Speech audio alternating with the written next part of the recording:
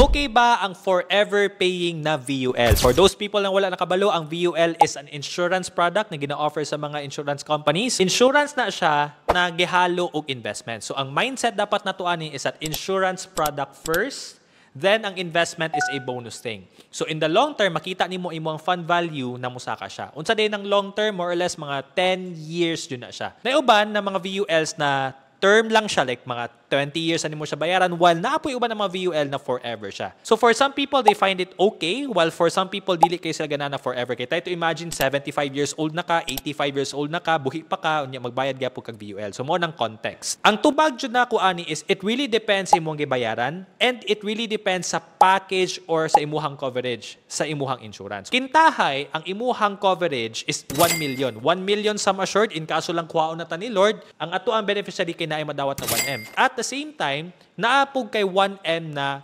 coverage pag abot sa mga critical illness. Kung ma-hospitalize ka because of cancer, TB, ka na mga grabe kay mga sakit kay covered po ka og 1M. Plus na pa kay mga riders samaan ng mga surgical benefit, daily hospital income, accidental permanent disability, etc. etc.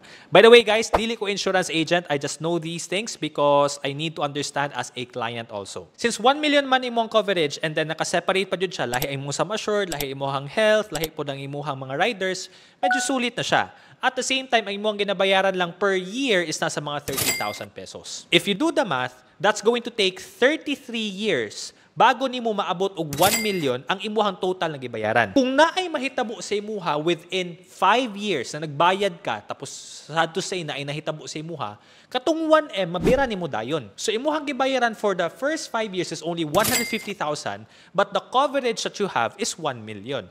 So it makes sense na 150 lang imong gipagawas pero 1 million imong kuha. That's a difference of 850,000. Pero what if sa 33 years nimo walay nahitabo? Sa ato pa, ang imuhang total na gipaga, gipagawas na kwarta, gibayad na kwarta kay moabot siya 1M.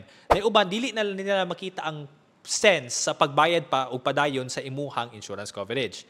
Para nako, naagyapon siya mag-make sense because VUL man siya, meaning na ay part sa kwarta nimo gibayaran na mapadulong sa investment.